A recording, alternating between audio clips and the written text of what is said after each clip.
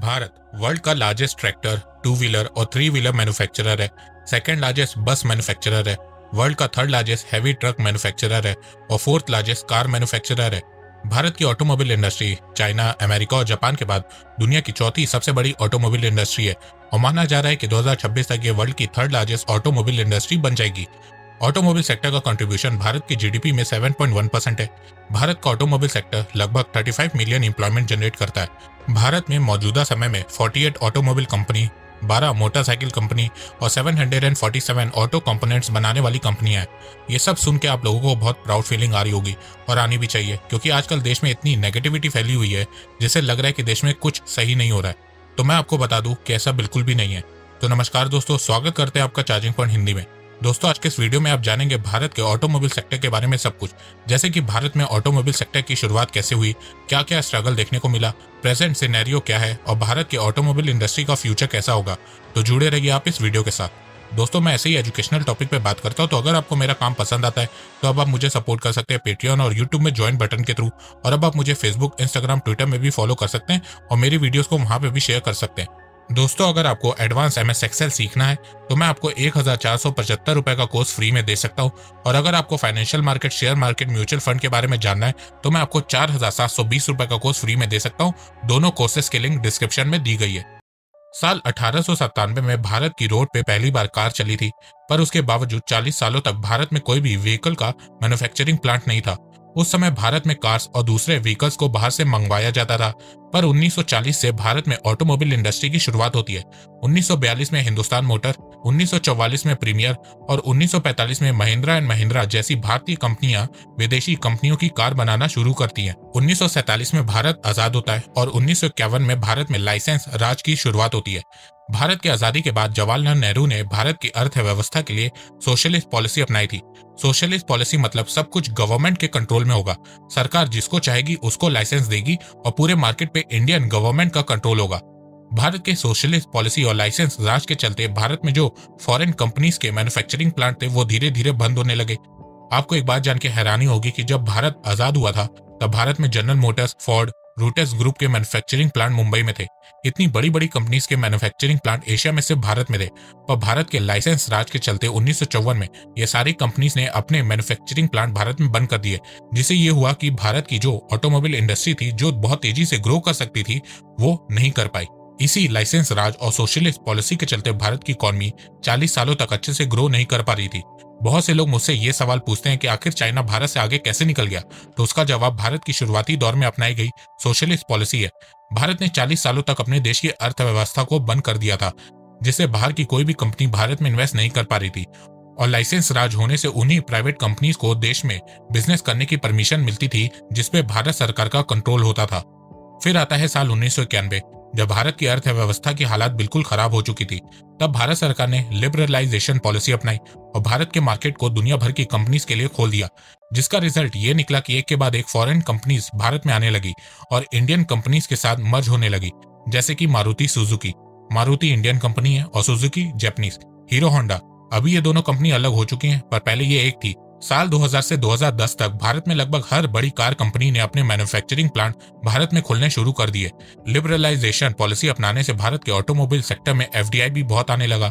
साल 2000 से 2020 तक भारत के ऑटोमोबाइल सेक्टर में लगभग 24.5 बिलियन डॉलर का एफडीआई आ चुका है।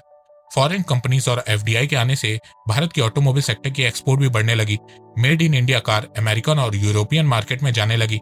पिछले पाँच सालों में भारत के ऑटोमोबाइल सेक्टर के एक्सपोर्ट में 6.94 परसेंट की ग्रोथ देखने को मिली है। भारत के ऑटोमोबाइल सेक्टर का एक्सपोर्ट साल दर साल बढ़ता जा रहा है, जो की बहुत अच्छी बात है। इसी बीच साल 2000 में भारत में पॉल्यूशन को कम करने के लिए भारत सरकार ने भारत स्टेज इमिशन नॉर्म्स की शुरुआत की। मौजूदा समय में भारत ने सीधे बी एस फोर से छलांग लगाते हुए 1 अप्रैल 2020 से बी एस सिक्स लागू कर दिया है। तो इतने सालों की मुश्किलों के बाद भारत का ऑटोमोबाइल सेक्टर अच्छे से ग्रो होने लगा था कि साल 2019 में इकोनॉमी स्लो डाउन और भारत सरकार द्वारा लाई गई कुछ गलत पॉलिसीज़ के चलते भारत के ऑटो सेक्टर में पिछले 20 सालों में सबसे बड़ी नेगेटिव ग्रोथ देखने को मिली। Car two wheeler three wheeler bus truck सबकी सेल्स गिर गई। व्हीकल्स की सेल्स कम होने से प्रोडक्शन में भी इम्पैक्ट देखने को मिला।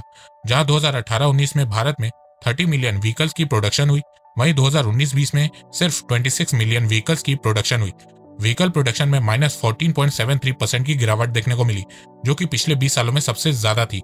पर इसी दौरान एक अच्छी बात यह हुई कि भारत के ऑटोमोबाइल सेक्टर के एक्सपोर्ट में कमी देखने को नहीं मिली। भारत ने पिछले साल के मुकाबले 2019-20 में ज़्यादा व्हीकल्स को एक्सपोर्ट किया था। तो इससे एक बात तो सबको समझ में आ गई कि भारत के डोमेस्टिक मार्केट में कुछ प्रॉब्लम चल रही थी, जिसके चलते भारत के ऑटोमोबाइल सेक्टर में डाउनफॉल देखने को मिल रहा था।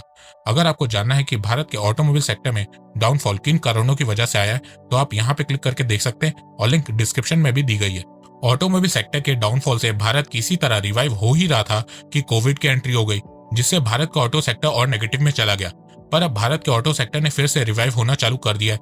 भारत की ऑटोमोबाइल की डोमेस्टिक सेल्स महीने दर महीने बढ़ रही है और इसी चीज़ को देख के ये अनुमान लगाया गया है कि 2021 में भारत का ऑटोमोबाइल सेक्टर वापस से ग्रो होने लगेगा। फ्यूचर की बात करें तो भारत की ऑटोमोबाइल इंडस्ट्री फ्यूचर में बहुत तेज़ी से ग्रो करेगी और 2026 तक वर्ल्ड की थर्ड लार्जेस्ट ऑटोमोबाइल इंडस्ट्री बन जाएगी। फ्यूचर में भारत की ऑटोमोबाइल इंडस्ट्री की ग्रोथ बढ़ने के पीछे बहुत से रीजन है। जैसे कि अभी इस समय भारत में पर 1000 इंडिविजुअल में से सिर्फ़ 22 लोगों के पास कार है। वहीं अगर हम दूसरे देशों से कंपेयर करें तो अमेरिका में पर 1000 इंडिविजुअल्स में से 980 लोगों के पास कार है। यूके में साढ़े आठ लोगों के पास कार है। कनाडा में छह सौ बासठ लोगों के पास कार है, जापान में पाँच लोगों के पास कार है और चाइना में एक लोगों के पास कार है। द इंटरनेशनल एनर्जी एजेंसी आई ने बताया है कि दूसरे देशों के मुकाबले भारत में अभी बहुत कम लोगों के पास कार है। पर जिस तरीके से भारत की इकोनॉमी ग्रो हो रही है इंफ्रास्ट्रक्चर मज़बूत हो रहा है, भारत में लोगों की इनकम बढ़ रही है। तो आने वाले कुछ सालों में भारत में कार्स के नंबर भी बढ़ते हुए दिखेंगे। आईईए ने अनुमान लगाया है कि नेक्स्ट टू डिकेट्स मतलब कि अगले 20 सालों में भारत में पर 1000 इंडिविजुअल में से 175 लोगों के पास कार होगी और 2030 तक पर 1000 इंडिविजुअल्स में से 70 लोगों के पास कार होगी। तो व्हीकल्स के नंबर के बढ़ने का मतलब ये है कि आने वाले 20 सालों में भारत का खुद का डोमेस्टिक ऑटोमोबाइल मार्केट बहुत तेज़ी से बढ़ने वाला है, जिसके चलते भारत का ऑटोमोबाइल सेक्टर भी बहुत तेज़ी से ग्रो होता हुआ दिखेगा। दूसरा रीजन भारत सरकार द्वारा लाई गई व्हीकल स्क्रैपिंग पॉलिसी है बजट 2021 में भारत सरकार ने व्हीकल स्क्रैपिंग पॉलिसी को इंट्रोड्यूस किया था। इस पॉलिसी के तहत 15 साल पुराने कॉमर्शियल व्हीकल और 20 साल पुराने प्राइवेट व्हीकल को स्क्रैप किया जाएगा और ये स्कीम 1 अप्रैल 2022 से लागू होगी। इस स्कीम के चलते 28 मिलियन व्हीकल्स को स्क्रैप किया जाएगा। इन व्हीकल को स्क्रैप करने से एक तो देश में पॉल्यूशन कम होगा, दूसरा ऑटोमोबाइल इंडस्ट्री की सेल्स बढ़ेगी और इससे ऑटोमोबाइल सेक्टर की ग्रोथ में भी बहुत तेज़ी देखने को मिलेगी। तीसरा रीजन है भारत की आत्मनिर्भर पॉलिसी भारत लगभग 20 से 25 परसेंट ऑटो पार्ट चाइना से इंपोर्ट करता है। पर साल 2020 में हुए गलवान इंसिडेंट के बाद से भारत सरकार चाइना से भारत की डिपेंडेंसी को कम करना चाहती है। भारत सरकार चाहती है कि अब भारत में सभी ऑटो कंपोनेंट्स और पार्ट को बनाया जाए और इसके लिए भारत सरकार ने पीएलआई स्कीम के तहत इक्यावन हज़ार करोड़ रुपए ऑटो सेक्टर को दिए हैं। इस स्कीम के चलते जो भी कंपनी भारत में ऑटो कंपोनेंट्स और पार्ट बनाएगी, उसे इंसेंटिव दिया जाएगा। तो जैसे जैसे भारत में ऑटो पार्ट्स और कंपोनेंट बनने लगेंगे, उससे फ्यूचर में भारत में व्हीकल की प्राइस भी कम होने लगेगी, जिससे व्हीकल्स की सेल्स बढ़ेंगी और एक्सपोर्ट में भी ग्रोथ देखने को मिलेगी।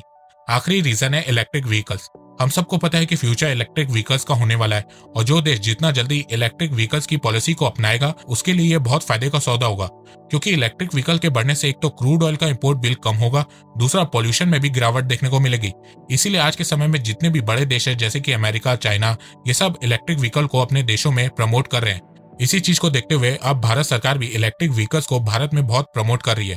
इलेक्ट्रिक व्हीकल्स को खरीदने के लिए टैक्स बेनिफिट दे रही है। इलेक्ट्रिक व्हीकल्स की मैन्युफैक्चरिंग को बढ़ाने के लिए इंसेंटिव स्कीम लॉन्च की है, जिसके चलते भारत में टेस्ला आ चुकी है और अब वो भारत के कर्नाटका में मैन्युफैक्चरिंग प्लांट के साथ साथ रिसर्च एंड डेवलपमेंट सेंटर भी खोल रही है। भारत में इलेक्ट्रिक व्हीकल बनने से भारत को बहुत फ़ायदा हुआ। जैसे कि सबसे पहले भारत में इलेक्ट्रिक व्हीकल की प्राइस कम होगी। लोग इलेक्ट्रिक व्हीकल्स को खरीदना चालू करेंगे, जिससे इलेक्ट्रिक व्हीकल्स की सेल्स बढ़ेगी। इसके साथ साथ बहुत सी नई कंपनीज़ और स्टार्टअप खुलेंगे, जिससे बहुत सी जॉब्स जनरेट होंगी। इसके अलावा जो पुरानी बड़ी बड़ी ऑटोमोबाइल कंपनी है, वो भी इलेक्ट्रिक व्हीकल कल्चर अपनाएँगी, जिससे आने वाले कुछ सालों में आपको बहुत से इलेक्ट्रिक व्हीकल्स के मैन्युफैक्चरिंग प्लांट भारत में खुलते हुए दिखेंगे, जिससे और जॉब्स जनरेट होंगी। इसी चीज़ को देखते हुए एक अनुमान लगाया गया है कि 2025 तक भारत का इलेक्ट्रिक व्हीकल मार्केट पचास हज़ार करोड़ रुपए, लगभग सेवन बिलियन डॉलर होगा। 2020 से 2027 तक भारत का इलेक्ट्रिक व्हीकल मार्केट 44 परसेंट की स्पीड से ग्रो करेगा और 2030 तक 5 करोड़ डायरेक्ट और इनडायरेक्ट जॉब जनरेट करेगा। तो भारत की ऑटोमोबाइल इंडस्ट्री का फ्यूचर बहुत ही अच्छा होने वाला है। तो दोस्तों, मुझे लगता है कि अब आपको सब समझ में आ गया होगा। तो अगर आपको ये वीडियो पसंद आए तो आप इस वीडियो को लाइक कीजिए और अब आप मुझे सपोर्ट भी कर सकते हैं पेट्रियन और यूट्यूब में ज्वाइन बटन के थ्रू एक बात मैं कहना चाहता हूँ, आप जितनी मेरी वीडियोस को शेयर करेंगे, उतनी ही रीच मेरी बढ़ेगी और उतने ही लोग मेरे से जुड़ेंगे। तो वीडियो को शेयर करना चैनल को सब्सक्राइब करना बिल्कुल भी मत भूलिएगा। मैं से एजुकेशनल वीडियोस लाता रहूँगा आप लोगों के लिए। तो अभी तक के लिए बस इतना ही। धन्यवाद। जय हिंद, जय भारत।